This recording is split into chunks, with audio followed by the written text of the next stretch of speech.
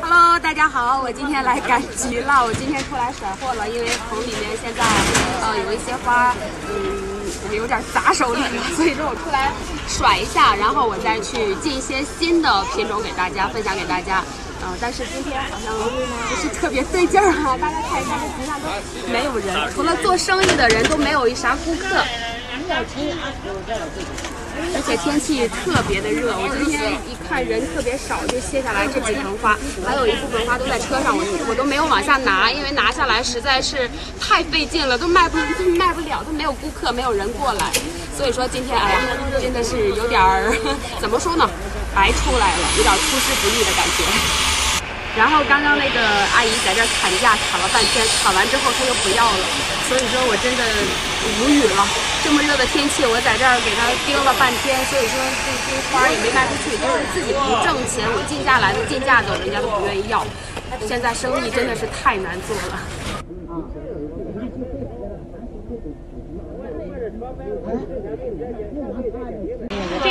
我昨天才刚刚浇完水，然后今天就被太阳晒了这么一小会儿。今天实在是太热了，现在就已经打蔫了。这个赶紧把它挪到车上去吧，现在真的是在这里不行了。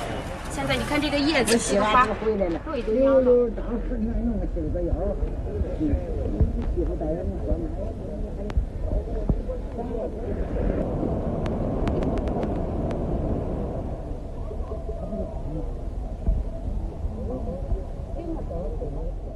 哈哈哈哈哈！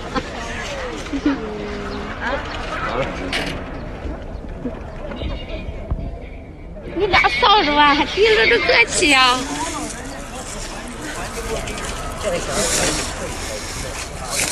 是要买个西瓜吃吗？买个西瓜吃吧，带着孩子在这儿挺不容易的，给孩子也凉快一下。都是都人，十个人都人。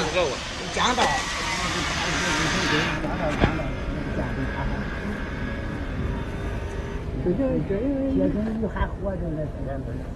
你爸，你爸家伙都开始买你大爷这个花了。别多大吧，你看我都急的。好了，花友们，今天是一上午的时间也结束了，给大家看一下现在这个状态。现在集上几乎已经是没有人了，现在大家就已经回家了。